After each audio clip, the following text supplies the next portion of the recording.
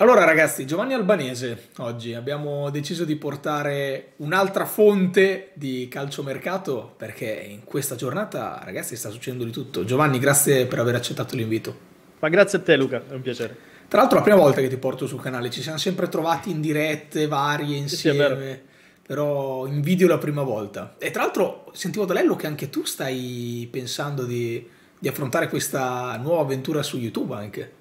Sì, qualcosina, sto ragionando più che altro su, sui format perché eh, poi chiaramente eh, sai, la, il giornalista mh, deve sicuramente monitorare un po' tutte, tutte le piattaforme. Secondo me eh, YouTube apre a tante, a tante possibilità e, però ecco sto, sto, ragionando, sono in quella fase di, di riflessione che magari mi porterà dritto a trovare una chiave diversa rispetto a, a tante altre che, che, apprezzo e che seguo sempre con tanto piacere. Guarda, mi farebbe piacere, nel caso sarò ben lieto di, di aiutarti, supporto e quant'altro per eh, la crescita del canale. Con piacere. Conta su di, conta su di me. Allora, oggi eh, io faccio un video e dico eh, ragazzi, ragazzi oggi di calciomercato veramente poco da dire, abbiamo concluso Vlaovic, adesso vediamo cosa succede nelle ultime ore, non ci sono notizie, eh, è sabato, volevo rilassarmi, quindi magari sarà l'unico video della giornata. Qualcuno invece mi dice no, non ci si rilassa, è a fine mercato, io voglio sapere che cosa sta succedendo sul centrocampo. E poi lì è esploso tutto, perché oggi veramente ma eri a colazione stamattina quando pensavi di poter riposare per questo? Per Bene o male, sì, erano le, le 10, dai, erano intorno eh, alle sì, 9 e mezza, 10. Che poi, detto, poi, poi, eh, poi, è cambiato tutto. Ma eh, io non riesco a capire. Racc- vai, cronostoria della giornata di oggi, facci un'analisi di quello che è accaduto. Guarda, tre parole chiave che furono utilizzate da, dai dirigenti della Juve la scorsa estate, da Federico Cherubini in particolare, quando gli si chiese, hai sostituito Ronaldo con, con Ken, c'è qualcosa che non va. E lui disse, no, non abbiamo sostituito Ronaldo con Ken, abbiamo semplicemente pensato di anticipare il futuro. Le tre parole sono anticipare il futuro. Bravo, bello, sì, bel collegamento, perché in effetti questa sessione di calciomercato la possiamo vedere come l'anticipazione, lo spoiler di quello che doveva essere quest'estate, bene o male. Assolutamente no? sì, e questo sta succedendo fino al termine della sessione di mercato invernale. Perché? Con Vlaovic eh, non è tutto qui. Hai anticipato il futuro sul centravanti e stai trovando le condizioni per anticipare il futuro anche a centrocampo, dove un uomo serve, serve però con alcune caratteristiche che Allegri ha chiesto in maniera molto esplicita, abbiamo sempre detto, lui vuole un uomo che possa aggiungere fisicità in mezzo. Certo. Una considerazione che molte volte è stata messa in discussione nelle ultime settimane, perché poi possiamo discutere tanto di cosa c'è o meno nel reparto mediano di questa Juventus, però Allegri ha chiesto un uomo che possa aggiungere fisicità. Quell'uomo è Zaccaria, è stato individuato, c'era già un accordo per la prossima estate così come c'era uh, per Vlaovic. Eh, le condizioni per chiudere in entrata Zaccaria sono le cessioni eh, che, che, dovranno esserci nel corso di queste ore. Okay. Su Kuluseschi ha fatto un passo in avanti il Tottenham. Paratici stima tantissimo il calciatore, lo stima anche Conte che eh, probabilmente ci rimase un po' male quando il calciatore arrivò a, alla Juve nel, nel gennaio del, del 2020 perché si accontentò di Eriksen, si accontentò di Eriksen in quella sessione al posto di Kuluseschi. Sì, sì. E, e, nel frattempo l'Aston Villa stava facendo sul serio per Bentancur, che però non sembrava convintissimo di questa soluzione, tant'è che aveva fatto una richiesta importante per quanto riguarda l'ingaggio, okay. quasi il doppio rispetto a quello che percepisce oggi alla, alla Juve. Eh, però Rodrigo ha risposto al telefono al buon Paratici che ha pensato anche a lui e dunque il Tottenham oggi sembra ormai prossimo a fare una doppia operazione con la Juventus prendendo Kuluseschi e Bentancur uno a titolo definitivo, l'altro con un prestito condizionato che porterà al, al riscatto e sostanzialmente questo va a spianare la strada completamente ad un altro colpo in entrata che è quello di Zaccaria. Allora, tanto tantissima carne al fuoco, wow, proprio un, una brace, un, abbiamo fatto un, una grigliata eh, insieme qua adesso, aspettiamo che si cuocia. Subito su Zaccaria, eh, noi l'avevamo analizzato qua sul canale YouTube, avevamo guardato le caratteristiche tecniche, avevamo guardato un po' di tutto e sembrava davvero, ma ti parlo di un paio di settimane fa, sembrava davvero un, un colpo interessante, il famoso mediano, giocatore di equilibrio che Allegri chiede da non so quante stagioni e che bene o male non ha mai avuto lì davanti alla difesa perché vado a memoria, ma Pirlo, Marchisio, Pjanic sono sempre stati giocatori diversi dal volante sì. che aveva in testa lui, per intenderci il Van Bommel che usa nel, nel suo ultimo anno, anzi nel suo secondo anno al Milan. Quindi quel giocatore con quelle caratteristiche lì, per dare un po' più di equilibrio. Ed era anche un discorso che Allegri aveva tirato fuori in qualche conferenza, allora metto tutti i centrocampisti di qualità, le mezze ali, i terzini che fanno le ali. Quindi Allegri lo chiedeva da, da tanto, sarei contento del suo arrivo.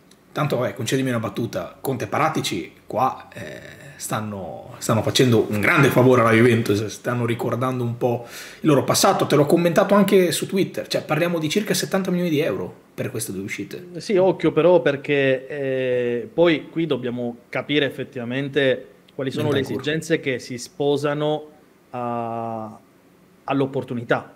Ok. Perché tipo... comunque il Tottenham sta prendendo un giocatore classe 2000 sul quale se c'è l'allenatore e il direttore sportivo che fa la squadra che, che credono fortemente su questo ragazzo, c'è grandissima prospettiva. Certo. È chiuso in questa Juve, certo. ma non è un giocatore scarso, non è un giocatore sul quale non si può costruire un futuro.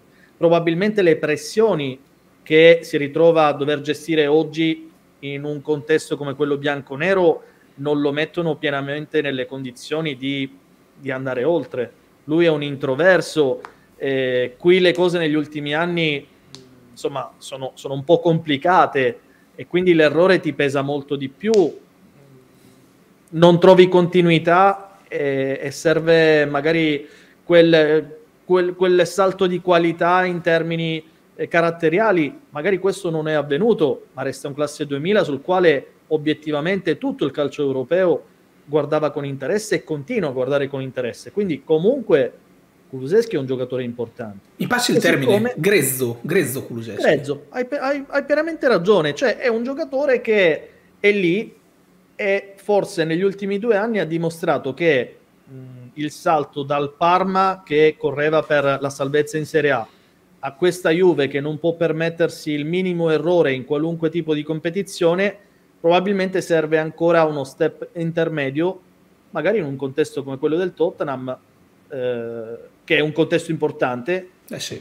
Però magari ecco, a livello mediatico il calcio inglese si vive con, con, un pizzico di leggerezza in più e ad un classe 2000 come lui e ad un introverso come lui può, può solo far bene. Ancora di più con un allenatore come Conte, insomma, lo, lo andrà a martellare e, e con, con Paratici che crede fortemente su di lui. E il discorso comunque dobbiamo allargarlo anche su Bentancur, che resta certo. comunque un classe 97 che ha già diversa esperienza nel, nel calcio europeo mh, e ha tutte le carte in regola per far bene in un club che insomma è lì tra Europa League con l'ambizione di entrare eh, nella, nella, nella, Champions League ci sta tutto Infatti, è comunque un doppio acquisto importante a cifre che fanno comodo alla Juve sì, eh sì certo. ma il Tottenham per quelli che sono i parametri del calcio inglese porta a termine due conti in linea, in linea, assolutamente in linea. Sì, sì, sì, sì. Ma infatti, ti, come ti, ti, avevo commentato nel tweet dicendo bene o male ripaghiamo Vlaovic con queste due cessioni, semplicemente, però perché in Italia a noi queste cifre fanno gola, invece all'estero certo. è la base. E se per Kuluseschi ti ho detto grezzo, per Bentancur forse oserei dire incompiuto, perché è sempre stato quel calciatore da cui si avevano grandi aspettative, arriva nel contesto Tevez, la prelazione su Bentancur, tanti anni alla Juve, titolare de- della sua nazionale, tre allenatori diversi, forse solo con Sarri davvero la stagione brillante, un po' di incertezza in tutte le altre e mai stato davvero un insostituibile né per Pirlo né per Allegri. Quindi un giocatore probabilmente che poteva avere tutto un altro destino, ma che anche oggi non è un titolare fisso. Quindi la Juventus non perderebbe l'opportunità eventualmente fermo restante che c'è una clausola no? sulla rivendita del giocatore di monetizzarlo oggi. Eh, però una domanda te la faccio. Con l'Aston Villa hai detto che si sono parlati proprio, c'è stato un contatto, risposto e hai detto no. Ma la Juventus avrebbe accettato quell'offerta che mi pare essere tra i 20 e i 25 milioni della Stone Villa e non l'ha accettata a Ventancur? Oppure perché c'è no. un'asta col Tottenham e no, allora, chi offre più? Ehm, la Stone Villa faceva una proposta da 20 milioni, okay. la Juve voleva ragionare su una base di 25, okay. però le richieste del calciatore erano alte. Erano molto alte. Eh, ripeto, quasi il doppio rispetto a quello che percepisce oggi in eh, Juventus. Di conseguenza la Stone Villa ha capito che si giocava a rialzo, c'era un'asta, doveva semplicemente capire chi era l'antagonista. Alla fine, nelle ultime ore, è venuta fuori l'antagonista, si è palesata che è appunto il Tottenham. E visti i rapporti tra Paratici e Bentancur, eh, certo. probabilmente lì si è capito anche che, che c'era un certo tipo di, di canale eh, insomma, preferenziale, che, che, che, preferenziale senza, senza dubbio. Consentimi di dire però che Beh. a Bentancur probabilmente abbiamo chiesto spesso qualcosa che non di è essere, lui. Di essere quello che in realtà non è. Certo, sì, Perché sì. lo abbiamo inserito benissimo, lo inserì Massimiliano Allegri nel calcio italiano. Lui arrivava comunque da esperienze importanti come eh, fatte al Boca Junior, ma insomma serviva qualcosina di più per farlo diventare un giocatore eh, importante nel calcio italiano. Poi ad un certo punto abbiamo chiesto ad una mezzala difensiva di fare il regista. Di fare il regista. Eh, lo so.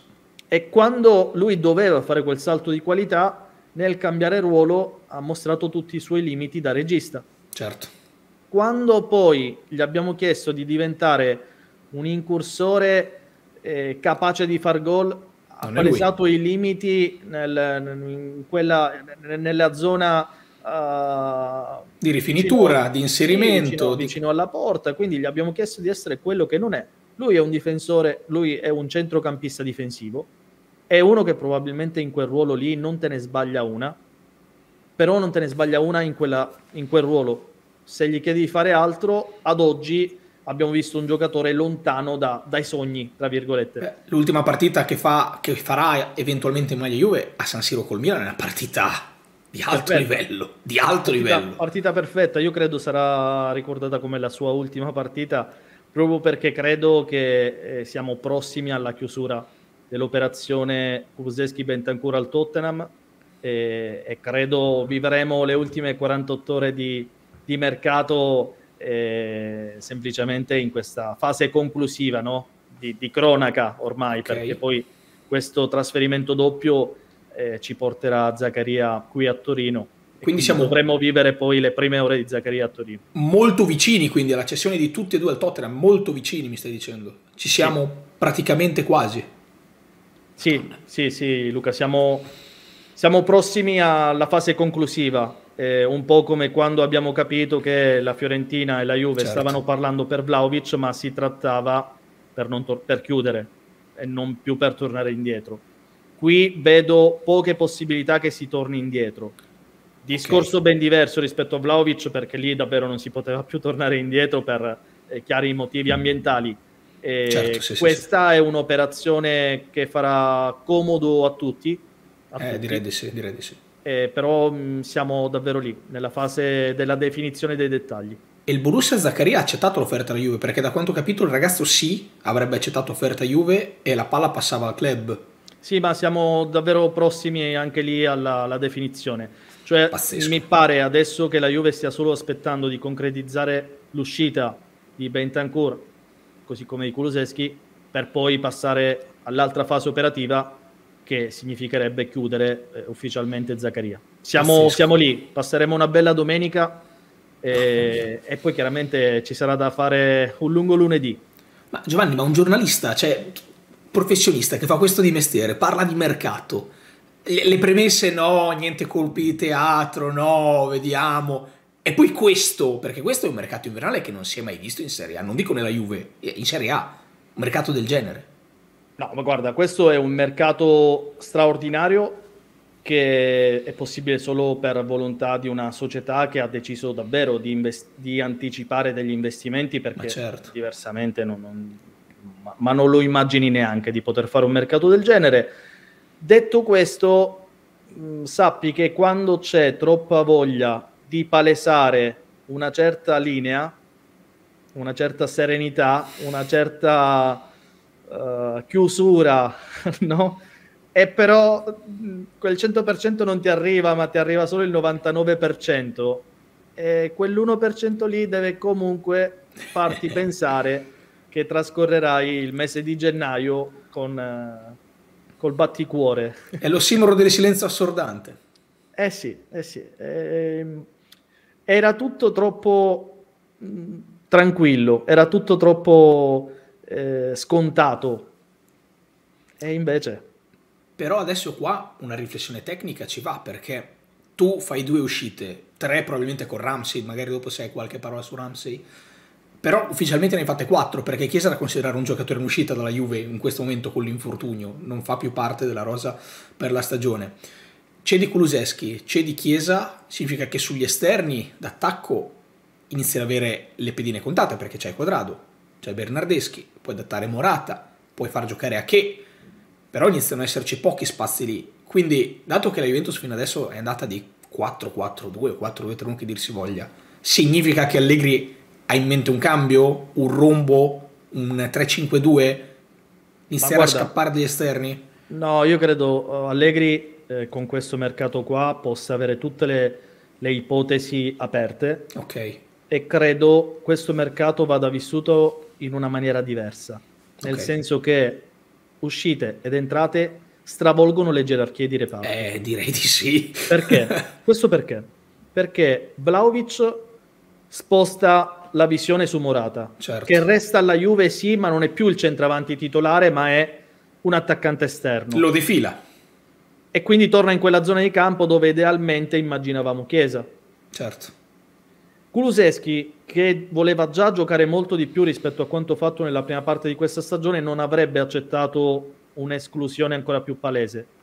Allora, togli Kuluseschi, tieni Morata, che ha sicuramente più esperienza e quindi ti dà certo. maggiori garanzie, e l'ultimo di reparto diventa che, che promosso da, dalla seconda squadra Under 23 comunque lo vive come un salto nel suo percorso. Eh certo che sì, anche perché tutti... dice di Kuluseschi e quindi, quindi diventa... tutti gli uomini di reparto mh, ben soddisfatti del percorso stagionale che stanno facendo. Questo in attacco. A centrocampo è abbastanza simile la situazione con Arthur che sì, voleva andare all'Arsenal, ma l'Arsenal non garantiva le richieste eh, fatte da, dalla Juve e allora resta e dividerà il posto con Locatelli. È chiaro che nell'11 di partenza immaginiamo Zaccaria un Locatelli, Locatelli, titolare e un vice Arthur, eh, vice Arthur. Però è anche vero che ci sono tante partite da giocare eh, ed è chiaro che con questo mercato insomma punti anche a fare bene in Champions League. Perché adesso insomma hai una rosa che ti consente anche di dire boh no, Vediamo. Gli ottavi, gli ottavi li, li, gioco per andare avanti. Li devi, li de- mi sento di dire li devi eh, passare. Sì, li, sì, mi sento di dire sì. li devi passare. Così come eh, non puoi assolutamente più dire... Chissà se ci arrivo abbia, eh, chissà se arrivo a, a, nei, nei, primi quattro posti. Cioè, qui gli obiettivi non solo sono chiari. È un urlo. Assolutamente sì, questo mercato ti impone adesso di fare un determinato percorso. Ma anche perché noi abbiamo sempre ragionato sul... Vabbè, arriva Vlaovic per sostituire Morata. Vabbè, arriva Zaccaria per sostituire Artur. No, tu hai tenuto i giocatori più importanti con i ruoli. Cioè, tu... Hai solo cambiato le gerarchie in maniera più funzionale rispetto a quelle che sono le idee dell'allenatore e l'identità di squadra che devi tirar fuori. Qui volevo arrivare, perché quanti anni è che si dice che la Juventus dovrebbe fare il mercato secondo l'allenatore e quanti anni è che non si è mai fatto, si è guardato sempre le occasioni, si è guardato sempre quello che conveniva fare, invece no, adesso c'è stata un'impronta forte, penso, di Massimiliano Allegri. Ma sai Luca, eh, purtroppo quando poi ti ritrovi a dover gestire situazioni non solo tecniche ma anche economiche relative al bilancio, a volte le scelte sono, sono forzate. Obbligate, obbligate. Ti ritrovi a dover vendere per necessità e non è mai un bene. Esatto. È una Juve che ha avuto, grazie a, a, alla solidità della, della proprietà, ha avuto la forza di azzerare, di arrivare a termine con quei calciatori che sono ancora in Juventus ma non rientrano nei piani del futuro, ma si stanno comunque onorando Ah, ma, ma, anche tutti gli altri. Ah, già in rosa dici proprio? Sono, in rosa. Sì, sì, anche quelli che sono oggi in rosa. Ci sono tanti giocatori in scadenza che avranno magari delle proposte a ripasso, però sono, restano comunque in scadenza. Eh, cioè, certo. È una Juve che sta vivendo questa fase di transizione, però poteva viverla in maniera passiva o in maniera attiva. Beh, ha deciso di viverla non solo in maniera attiva, ma in maniera uh, propositiva. propositiva. assolutamente sì, siamo già proiettati nel, nel, futuro. E quindi, sai, io non so se oggi Di Bala sarebbe in grado di dire, bah, non lo penso, so, penso, penso se magari mm, non so se voglio rinnovare, ma anche Delic. Ma, ma Delic, ma tutti gli altri, guarda. Questa ah, è una no. grande Juve e hai sì. la sensazione che possa diventare una grandissima Juve nel giro di poco. Perché poi, occhio, abbiamo sempre detto, la Juve riparte dai giovani, ma la Juve sta ripartendo da giovani di grandissimo valore. Ma è quello il punto, pronti, perché Allegri ti ha sempre detto quello. Allegri non ti ha mai detto no, guarda, questo non gioca perché non è giovane. Questo non gioca perché per la mia concezione di calcio non è pronto. Vai a prendere Vlaovic che è capocannoniere della Serie A, Zaccaria che è un centrocampista rodatissimo nel, che entra nei top anni della sua carriera e lo vai a prendere. Locatelli. All'inizio stagione entra subito ed è protagonista, non ha bisogno di chissà quali periodi di inserimento eh, questo è un po' quello che è il metodo che, che secondo me eh, sarà adottato da qui alle prossime stagioni. Probabilmente Allegri, quando finì la sua prima avventura in bianconero, aveva già in mente questo tipo di Juve. E forse gli ultimi anni sono anche serviti per allinearsi comunque a quello che è il, il progetto rispetto ad un'idea che probabilmente l'allenatore aveva già da un lato, il club stesso aveva uh, sicuramente come, come, concetto, come sviluppo si voleva arrivare qui, eh, dovevi semplicemente capire come. Posso dirti che questo risponde a una delle più grandi domande che mi sono sempre fatto quest'estate, perché la domanda mi frullava nella testa, ma chi gliel'ha fatto fare a Massimiliano Allegri di rifiutare il Real Madrid per tornare alla Juventus, prendere in mano questa Juve nel momento più difficile della Juve e senza Ronaldo e con un mercato fermo di quest'estate? Ma chi gliel'ha fatto fare? E lui continua a parlare di eh, quest'anno è così, vediamo se l'anno prossimo torniamo. Ed è qua che ti chiedo, ma quindi questa cosa è stata progettata a tavolino, nel senso primo mercato estivo, vediamo come va e poi facciamo in inverno era una promessa che poteva essere fatta da Allegri già da prima o è stato un botto incredibile? Ma guarda, io credo eh, Allegri mh, sapesse sicuramente quello che la Juve avrebbe fatto, però non, secondo me non ha sposato eh, un progetto con, con una pianificazione così articolata. Ok. Questo mercato di gennaio probabilmente è figlio di una percezione che pian piano si è fatto, si è diventata sempre più concreta nella prima parte di questa stagione. Avevi la sensazione che questa Juve potesse arrivare al termine dell'anno fuori dalle zone, dalle posizioni della classifica che contano. E, e comunque ancora è tutto da dimostrare, perché adesso con questo certo. tipo di certo. mercato gli alibi sono finiti anche per l'allenatore. È il campo adesso, eh? Adesso è solo il campo. Eh. Adesso è solo il campo.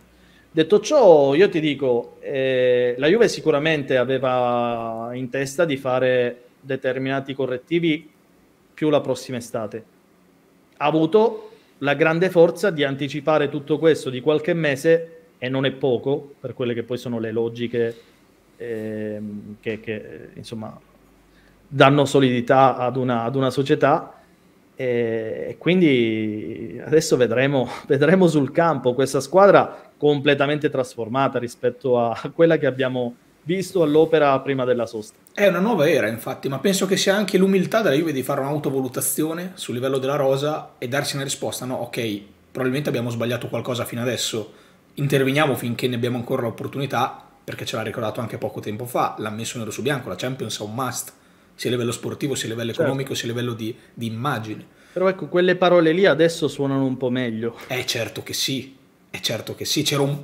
noi non lo potevamo sapere, ma c'era un eh. perché, dici te. Eh, in quel momento lì dici, eh, scusa, ho capito. Prendi in giro. eh, I colpi di teatro mi hai detto di non pensarli neanche. Eh, mi dici che lì devo arrivarci, come ci arriviamo? Adesso abbiamo capito. Proprio perché io non ho vissuto Vlaovic e adesso Zaccaria come colpi di teatro ma li... adesso capisco la logica. Non sono sorprese, sono semplicemente eh, volontà di anticipare quel futuro che effettivamente ti può, dare, ti può risolvere un'esigenza nel presente e ti dà grande prospettiva uh, sul, sul, futuro. Certo. È chiaro che poi la prossima estate non immagino ancora chissà che cosa, ma non perché, non, non perché la Juve non debba più fare mercato, ma semplicemente perché abbiamo capito che la linea può essere questa, quindi a delle cessioni importanti corrisponderanno poi de- dei correttivi. Però oggi nel vivere la rosa e questa squadra, ti dico, ci sono sicuramente molte più colonne, molti più punti fermi che ad inizio stagione. Ma poi l'hai detto te banalmente, abbiamo anticipato il futuro. Cioè, sì, significa che una parte del mercato che dovevi fare quest'estate l'hai già fatto ora. E, e Ramsey, che è l'unico che è sempre stato ufficialmente sul mercato, Allegri ce l'ha ribadito più volte, in uscita, in uscita. Sì, sì, assolutamente sì, e, e resta in uscita anche perché è un giocatore che non rientra minimamente nei piani eh, della Juve, eh, lui vorrebbe un club importante, per questo ha rifiutato tutte le proposte che sono arrivate da, da club medio-piccoli della, della, Premier. Il contratto è pesante, eh, insomma... Prende come Vlaovic. Eh, forse... Forse di sì. più. All'ordo forse qualcosina di più. Ed è, ed è chiaramente un giocatore che ha un peso spropositato per quella che è diventata la nuova realtà della Juve. E, tra l'altro la dirigenza era stata molto chiara con l'entourage, nel senso che mh, era ben disposta a darlo a titolo definitivo a condizioni molto favorevoli per gli eventuali acquirenti, diversamente in prestito. Insomma, è un giocatore che per la Juve è in uscita. Se vorrà rimanere alla Juve, obiettivamente non lo vedo all'interno del progetto. Sono emozionato Giovanni da questa chiacchierata perché abbiamo dipinto veramente un quadro che me l'avessero detto un mese fa avrei dato del pazzo chiunque. Cioè avrei detto ma di cosa stiamo parlando? Cosa stai dicendo? Ma secondo te facciamo e invece e tra l'altro mi sembra di vedere una linea dal mercato estivo a quello invernale in cui coerente. una Juve coerente e ti dico a meno che non ci sia il caso di emergenza come è stato Ronaldo a pochi giorni nel mercato dove sei stato circa obbligato a buttarti su Ken perché era uno dei pochi profili che in quei giorni potevi fare, per tutti gli altri hai dettato le tue regole. Per Locatelli ci sei stato tre mesi per riuscire a strapparlo le tue regole. Vlaovic, le tue regole, ma anche adesso banalmente col Tottenham, volete Kuluseschi in prestito? Sì, ma obbligo di riscatto. Volete Bentancur? Va bene, però questa è la cifra. C'è una Juve che finalmente non subisce più il mercato, perché negli ultimi anni mi era sembrato di avere questa, questa impressione. Invece una Juve che adesso batte i pugni sul tavolo e ti dice no, eh, eh, decido io. E questo credo dimostri la, la solidità di un club che ha capito che doveva fermarsi rispetto ad un percorso intrapreso che comunque ha portato dei risultati. Certo, indubbiamente. Eh, magari eh, non lontani, semplicemente un po' meno ambiziosi rispetto a quelli che volevi eh, perseguire, mi riferisco alla Champions League. Eh, però insomma si è chiuso un ciclo. Si, poi ad un certo punto c'è stata la volontà di vivere alcuni mesi quasi in riflessione, in attesa. Eh, forse la Juve aveva la necessità di guardarsi dentro per capire effettivamente su chi poteva contare e su, e su chi non poteva contare. Sono d'accordo. Perché cominciare una stagione con tanti giocatori in scadenza, qualche giocatore in prestito. Obiettivamente eh, a gennaio di quest'anno la Juve è scesa in campo con metà squadra che non ha la certezza di avere un posto per la prossima stagione. Eh sì. Il e capocannoniere della Juve. E quindi Quadrado. Sì. Quadrado che, che, è il vice, capit- è il vice di, di Dybala, e Dybala stesso e tanti altri. Morata consapevole che insomma, la, la sua, il suo percorso in Juve eh, si, si, chiuderà al termine di questa stagione, tante situazioni di questo tipo. Eh, però gli uomini hanno fatto la differenza su tutto il livello di squadra eh, e secondo me la, la, Juve come club sta dando, sta dando una grande risposta. Come chiusura cito Buffon che pochi, poche settimane fa aveva detto con Ronaldo la Juventus va sul campione ma va a perdere un po' quello che negli ultimi anni era diventato il mantra, la forza della Juve, il gruppo, lo spogliatoio, eh, l'umanità delle persone, degli uomini Juve. Eh, si sta rimettendo al centro del villaggio questa cosa, la Juve davanti a tutto il resto. Assolutamente sì. Eh, la Juve, mh, quando, quando io dico spesso il nuovo ciclo, sì, è un nuovo ciclo, le regole non sono cambiate, si è tornati alla tradizione, alla juventinità, quella vera. Quella Niente di rivoluzionario. Che, no, quella, tornati... che, quella, che, fece innamorare mio nonno che eh, da, da, piccolino ma, mi, mi, trasmetteva la, la, la fede eh, juventina, no? poi al di là uh, de, dei ruoli io chiaramente resto a fare eh, la, la cronaca, però nel vivere i nostri territori la juventinità la, la percepisci, eh, così come percepisci la anti-juventinità. Certo. Però quella juventinità lì, che è riconosciuta e riconoscibile da chi mm, la, la, la ama, o, ma anche da chi la disprezza, però ecco, quella juventinità lì oggi mi pare stia tornando protagonista assoluta.